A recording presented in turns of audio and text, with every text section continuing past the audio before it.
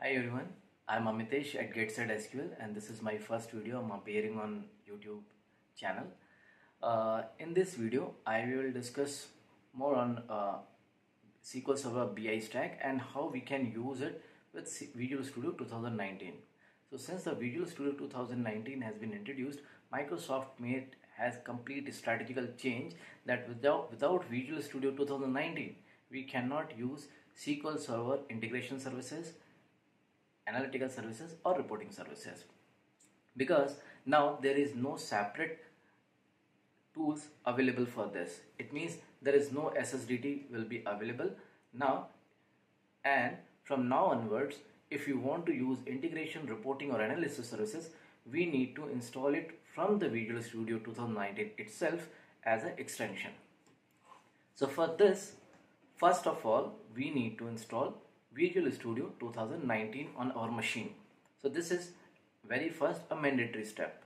So once the Visual Studio 2019 has installed on your machine, then we can you then we can install all SQL Server extensions like reporting, integration and analytical services as an extension.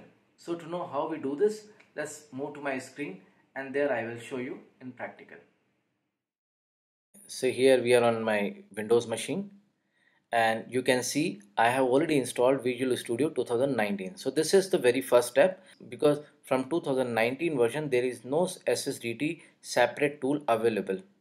So first we will go to Visual Studio 2019 and we'll go to the editor without creating any project. So in the menu you can see extension. Go to manage extension and here we need to search for our desired extension. Let's say in our case it is integration services. You can see SQL Server integration service project is available as an extension here. And as I have already installed it so you can see a green sign here. If it is not installed on your Visual Studio then you will get a download button. In the same way if I search for reporting services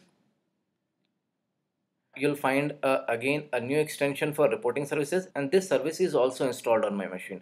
Otherwise the same way you will get a download button. Simply click to download and this will get integrated with your Visual Studio 2019 I will show you for analysis services also. And you can see Microsoft Analysis Services project that I have installed already okay so these three projects you can search from here and can download. Once the download is done, just simply restart your Visual Studio and that all extensions will be available on this Visual Studio. Let me show you how. Go to project and you can see there are lots of type of project we can create but this time we want to create a uh, let's say BI project so you can see analysis services tabular project also you can see other options as well as well as integration services project and reporting services project. Let me show you one example with integration services project. Let's see I choose this project and go to next.